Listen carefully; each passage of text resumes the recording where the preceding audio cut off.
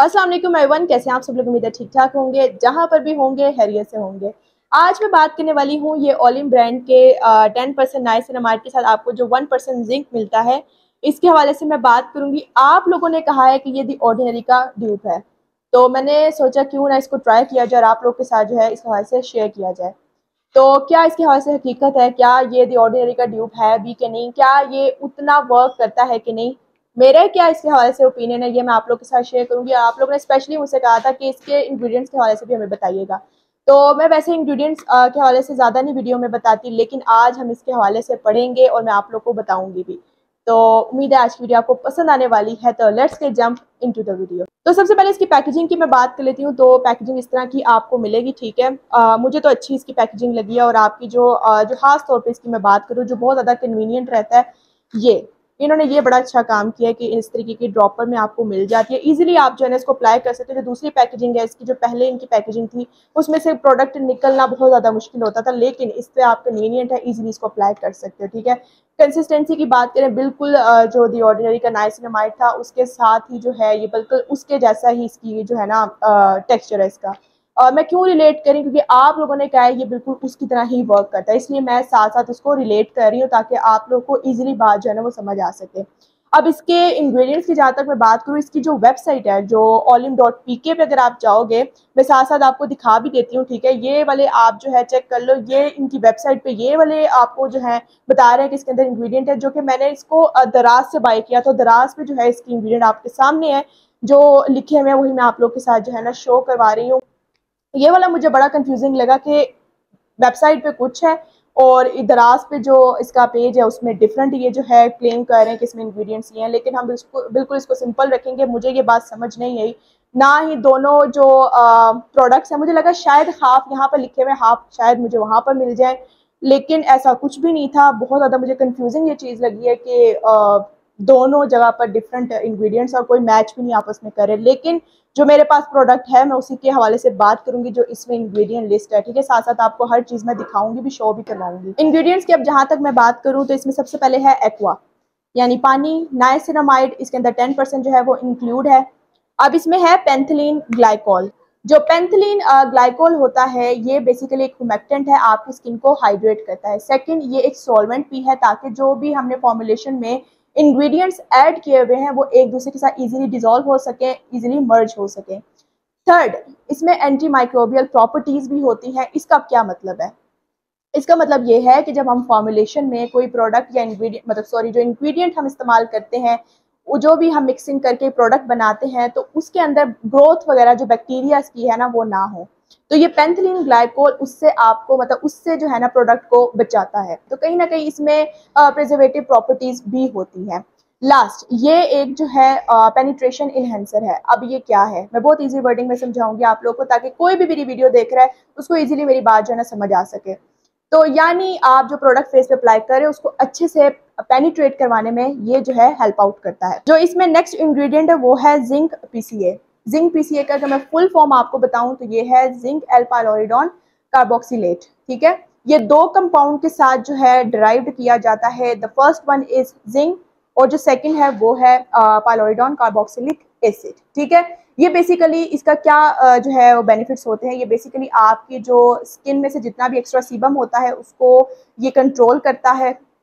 Anti acne के लिए बहुत अच्छा है, यानी कि आपको पिंपल्स वगैरह हैं, ये उनके लिए बहुत अच्छे से जो है ना वर्क करता है, इसमें एंटीऑक्सीडेंट प्रॉपर्टीज़ होती हैं, ये मॉइस्चर को रिटेन करता है और स्कैल्प के जो हेल्थ के लिए बहुत अच्छे से वर्क करता है। यानी अगर आप शैम्पू वगैरह में इनको ऐड करो, ये इंग्रेडिएंट अगर ऐड होता है तो ये आपके स्कैल्प के लिए डेंड्रफ के लिए जो है ना, ये बहुत अच्छा जो है ना, काम करता है।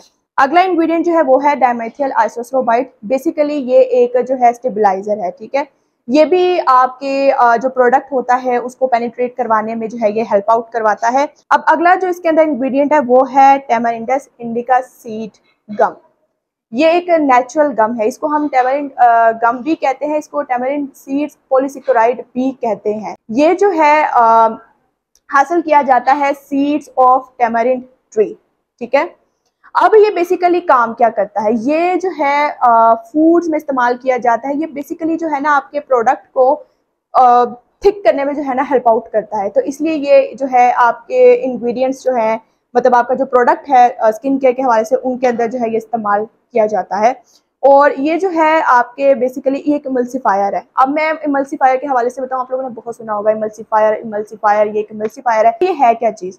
इमल्सीफायर जो है, ये एक ऐसा सब्सटेंस है जो कि दो जो लिक्विड होते हैं, जो कि आपस में हल पजीर नहीं होते, जो इमिजिबल होते हैं, जो आपस में मिलते नहीं है, उनको जो ना मिलाने के लिए काम आता है। अब ये क्या है?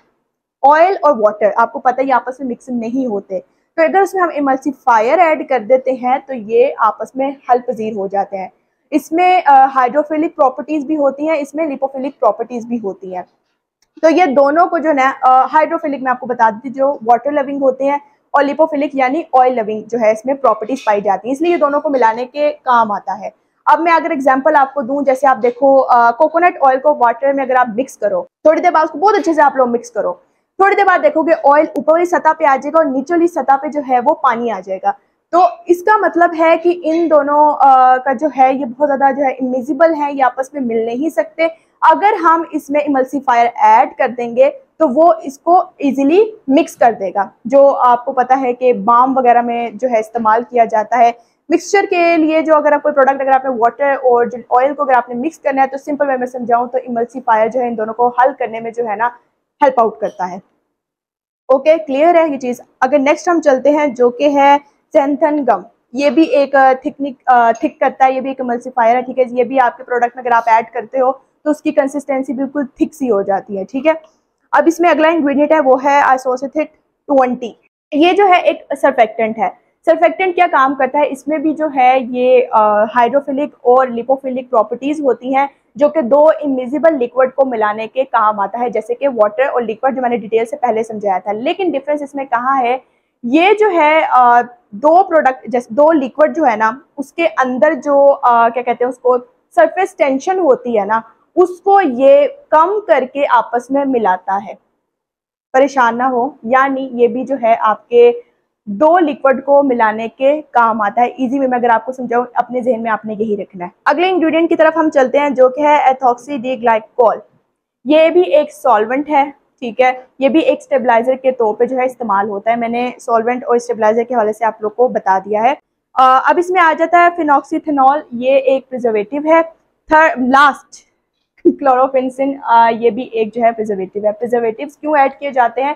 ताकि आप उसको लॉन्ग टर्म के लिए जो है प्रोडक्ट को इस्तेमाल कर सको, वो ख़राब ना हो और ना ही उसमें जो है आपको कोई बैक्टीरियाज वगैरह जो है उसके अंदर जो है वो बने। तो उनको बचाने के लिए जो है हमें प्रिजर्वेटिव ऐड करने पड़ते हैं। अब इसके हवाले से मैं रिव्यू आप लोग को देना चाहूँगी, जो मैंने खुद इस्तेमाल किया, ये मैं अपने आप लोग के साथ जो है ना शेयर कर रही हूँ। पहली बात तो ये इसने बिल्कुल मेरे लिए वर्क नहीं किया। ऑर्डिनरी का ये बिल्कुल ड्यूब नहीं है। क्योंकि सेंसिटिव स्किन वाले अगर फ़र्स्ट टाइम दी ऑर्डिनरी का ड्यूब ऑर्डिनरी का रियल जो उसका सीरम है नाइसिनामाइड का इस्तेमाल करते हैं, कहीं ना कहीं वो उनको इरिटेट कर जाता है। कि टेन परसेंट जो है ना, वो हर एक को सूट नहीं करता है। टेन परसेंट नाइसिनामाइड है। मुझे, मेरे लिए तो बिल्कुल वर्क नहीं किया। मैं अब आपको कैसे बताऊँ? अब मैं पहली बात ही क्लियर कर दूँ, पाकिस्तानी ब्रांड देख के, मैं अफोर्डेबल देख के नहीं बता रही आपको। ऑर्डनरी का ये बिल्कुल ड्यूप नहीं है। जिन्होंने ऑर्डनरी का इस्तेमाल किया, वो इजिली कह सकते हैं। अब लोग ये देख के कह रहे देखो ये बिल्कुल सेम है। नो मुझे नहीं पता वो कैसे कह रहे हैं, ये बिल्कुल सेम है। भाई मैं तो आपके साथ बिल्कुल ऑनेस्ट होकर कह रही हूँ, इसने बिल्कुल कहीं ना कहीं वर्क नहीं किया। वो वाला प्रोडक्ट जो है टेन परसेंट आइसिनामाइड इस्तेमाल करती हूँ कहीं ना कहीं वो मेरी स्किन को इरीटेट कर जाता है, क्योंकि वो टेन परसेंट है। इसलिए मुझे लो परसेंटेज ही रखनी पड़ती है नाइसिनामाइड की। तो इसलिए जो मैंने घर पे बनाया ना, यकीन माने वो इतना बेहतरीन वर्क करता है। ये पहले तो अप्लाई करके बहुत अच्छा लगता है। कि हाँ यार, ये स्किन बहुत अच्छी हमारी वो ग्लोई सी लग रही है अच्छा वर्क कर रहा है। लेकिन जब रिमूव कर दो स्किन बिल्कुल वैसी की वैसी ही रहती है। मैं इसलिए नहीं कह रही इसको लॉन्ग टर्म में ये कहूँ, दो दिन में श्रिंक कर देगा आपके पोर्स ऐसा कुछ नहीं है। तीन से चार महीने आपको लगते हैं नाइसिनामाइड इस्तेमाल करते, तब जाके आपको पता है पोर्स को ये श्रिंक कर रहा है कि नहीं। लेकिन इसने मुझे कोई बेनिफिट्स नहीं दिखाए। जो इससे पहले मेरी स्किन थी, बाद में बिल्कुल वैसी ही थी। कोई एक ज़रा भी मुझे इस पर बेनिफिट जो है, मेरे फेस पे नज़र नहीं आए। तो मेरी साइड से बिल्कुल भी रिकमेंडेड नहीं है। ये मैंने बिल्कुल ऑनेस्ट होकर आप लोग को बताया है। कोई पाकिस्तानी ब्रांड अफोर्डेबल प्रोडक्ट्स बता रहा है, मैं खुद अगर अच्छा होगा, मैं आप लोग को लाजमन प्रमोट करूँगी। मैं खुश होती हूँ कि जब पाकिस्तानी ब्रांड इतने अफोर्डेबल प्रोडक्ट्स जब बनाते हैं, ताकि इजीली सब बाय कर सके और अपनी स्किन का जो है ना ख्याल कर सके। मेरा, मैं दिल से बहुत ज़्यादा खुश होती हूँ इस चीज़ की। तो ये मैं पहले ही क्लियर करी ऐसी देख के मैं इसको बिल्कुल नहीं आपको ऐसे कह रही कि ये अफोर्डेबल है तो बहुत फजूल ऐसा कुछ नहीं है। मेरे लिए बिल्कुल वर्क नहीं किया, इसलिए मैं आपको रिकमेंड नहीं करूँगी ये। तो बाकी जो इसके दो प्रोडक्ट्स मैंने ऑर्डर किए थे साइसिलिक एसिड और सेकेंड जो है रेटिनॉल अब उसको मैं इस्तेमाल करके आप लोग के साथ जो है इसके प्रॉपर जैसे मैंने इसको इस्तेमाल किया, अब उसके भी सिंगल जो है मैं इस्तेमाल करके आपको रिव्यू इंशाल्लाह ज़रूर दूँगी। वर्क किए, लाजमी आपको रिकमेंड करूँगी। अगर नहीं किए तो बिल्कुल मेरी साइड से वो रिकमेंडेड नहीं होंगे। तो आई होप आज की वीडियो आप लोग को पसंद आई है। पसंद आई है वीडियो को लाइक कीजिएगा चैनल पर नए हैं लाजमी सब्सक्राइब कीजिएगा। मिलते हैं नेक्स्ट वीडियो में, अपना बहुत सारा ख्याल रखिएगा, दुआओं में मुझे याद रखिएगा। अल्लाह हाफिज़।